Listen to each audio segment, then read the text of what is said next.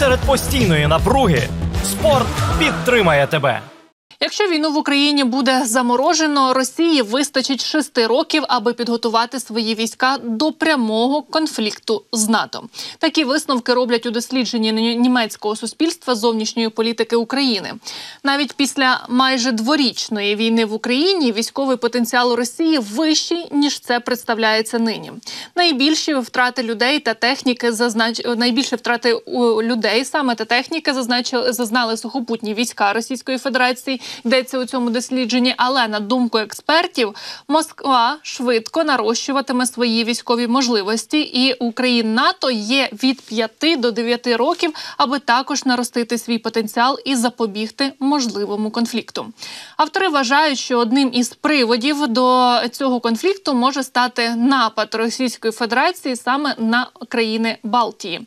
Вікно до можливого російського нападу відкриється як тільки у Росії виникне думка, що напад може може бути успішним. Йдеться у дослідженні. Експерти посилаються у своїх висновках на джерела у військових колах та спецслужби Німеччині. Німеччини. Ну тут мені здається, кожному з нас зрозуміло, і наша влада неодноразово про це говорила. Що домовлятися з Москвою ні в якому разі не можна у 2014-2022 роках. Україна провела майже 200 раундів переговорів з РФ, і за цей час було досягнуто 20 домовленостей про припинення вогню, і всі вони були порушені саме Росією. Ані мінські угоди, ані власні публічні обіцянки про ненапад не стримали Путіна від повномасштабного вторгнення. Та й самі ж пропагандисти запевняють, що у планах Кремля аж ніяк не якісь там діалоги, не сідати за стіл перемиря. А натомість це Одеса, Миколаїв, Київ та інші міста України. І якщо ми їх зараз не зупинимо, то вони підуть далі. І заклики до переговорів з боку Москви це чергова військова хитрість спосіб виграти час для підготовки нового удару, про який пишуть ось німецькі дослідники. Росія буде продовжувати свою війну проти України доти, доки буде фізично на це спроможна. Москва не готова і не прагне до ніяких компромісів. Проте зараз на Російській Федерації говорять зовсім по-іншому. Вони е, мовляв кажуть, що якщо зараз сідати і про щось домовлятися, зупиняти, начебто, ось цю війну, то це виявляється Україна і НАТО нападуть на Росію. Вот эта вот вся игра по поводу того, что давайте, то есть вот они давят на Украину, вот эта плита, да, как вот сказал Николай Викторович, давят на Украину, что, ребята, вы понимаете, что на самом деле перспективы нет, а победить вы не можете, и поэтому идите и договаривайтесь с русскими. Нам о чем с ними договариваться? Я вот все никак не могу понять, что они могут нам предложить, чтобы мы взяли и согласились там, и там, я не знаю, и договорились о чем-то. Капитуляцию. На что они делают ставку? Договариваться с ними нельзя, и никогда было нельзя. Если помнишь, когда мы с тобой ездили в Донецк за год до начала спецоперации, ровно за год, и мы там выступали. И когда я сказала «Россия, матушка, забери Донбасс да. домой», сколько на меня обрушилось критики по этому поводу здесь, в России. В том да. числе вполне официальной критики. И было сказано, что нет, это не официальная позиция это Российской позиция, Федерации, да. это личное мнение просто журналиста. Почему? Потому что у нас Минские соглашения. И мы придерживаемся Минских соглашений. Мне было... Я удивляюсь... Я уверена, что не только мне. Я просто удивляюсь, что кому-то это могло быть не очевидно. Мне было совершенно очевидно, что эти Минские соглашения – это просто Филькина грамота.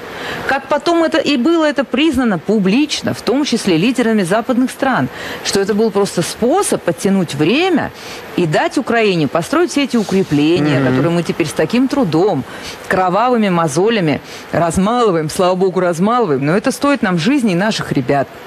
Это стоит огромных усилий, это стоит всенародной помощи, это стоит огромных усилий всего Министерства обороны и всей страны, и экономики Экономику, всей страны. Да, перес, чтобы, Конечно, чтобы поставлять туда то, чем это все разламывать, размалывать, чтобы они накопили боеприпасы, которые тоже сейчас нам стоят огромных усилий перерабатывать, перемалывать и прочее, прочее. Они это сделали. Ну что, мы опять поверим? Не смешно это, что ли? Вот я, я Нам про нельзя это и с ними спрашиваю. договариваться.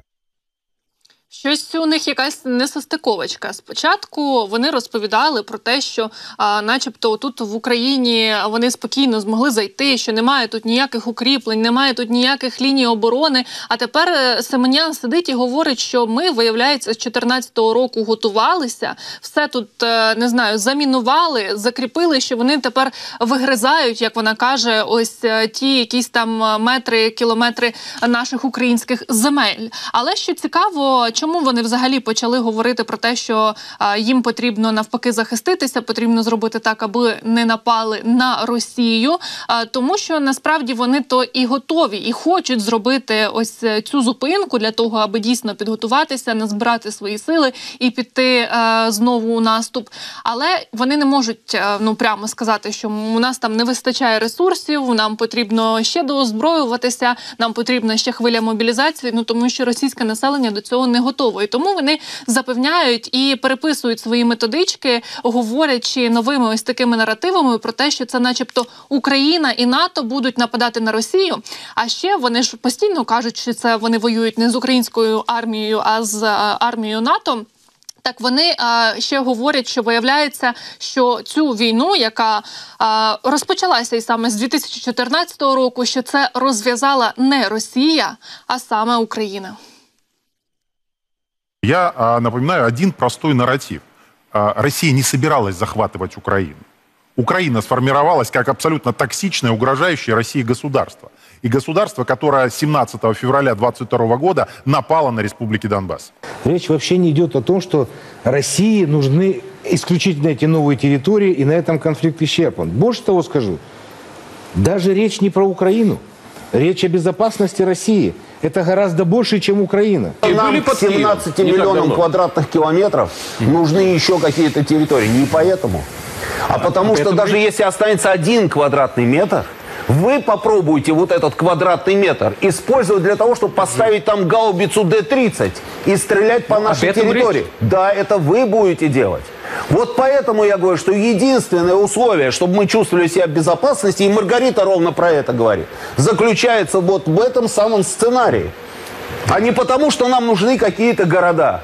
зафиксировать территорию и оборонить ее так, чтобы никто не рыпнулся. И наращивать, продолжать наращивать свою военную мощь, свою экономическую мощь, стабильность моральную, духовную, патриотическую в нашем обществе, чтобы никто не смог рыпнуться.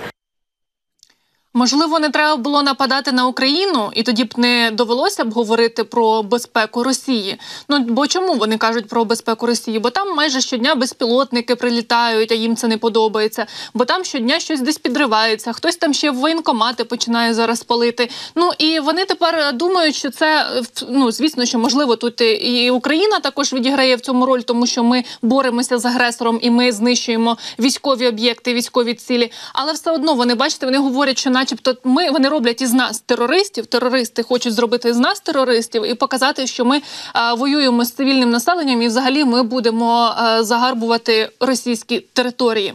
Нам чужого не потрібно. Ми не росіяни. Наша головна ціль це зараз звільнити нашу Україну, звільнити наші тимчасово окуповані території. Ну і звісно, було б добре е, зробити якусь демілітаризовану зону, десь там на 100 кілометрів від кордону з Росією. Але а, якщо навіть не це, то зробити не знаю, там 100-метровий такий паркан, аби. Росіяни не змогли більше ніколи прийти на нашу українську територію. А те, що вони ось переписують методички, то це очевидно. Для чого це все робиться? Ну бо зараз вони зроблять з Путіна ще такого героя, який рятує Росію, рятує Росію від терористів. А для чого це потрібно Путіну? Тому що.